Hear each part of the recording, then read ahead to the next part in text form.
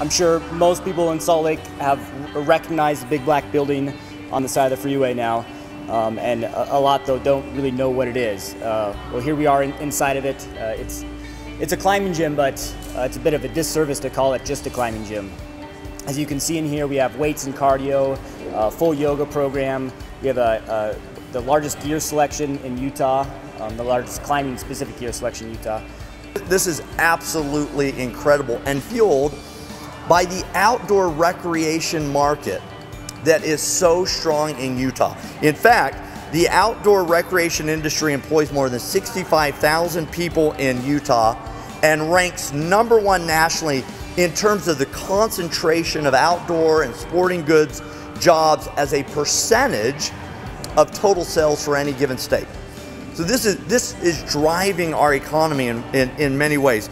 The outdoor industry contributes $5.8 billion annually to Utah's economy, including 4 billion in retail sales, accounting for 5% of Utah's GDP. At this point, it, rock climbing isn't really just for the hardcore rock climber anymore. It's just for people that live the outdoor lifestyle.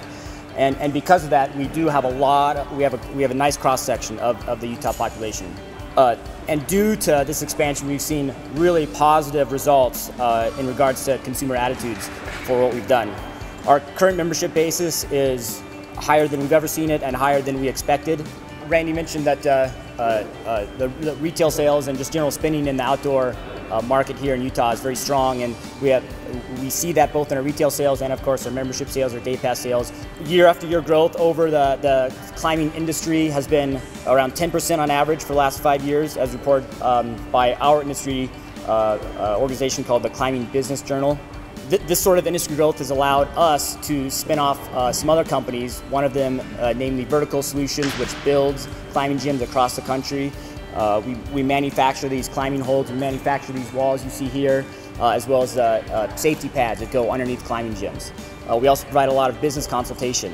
Climbing has got this really authentic basis in being social. And, and, and that is why we built this facility with um, this courtyard and uh, lots of open space um, is because we want to create an environment where people wanted to just be here and be friendly to each other and to socialize.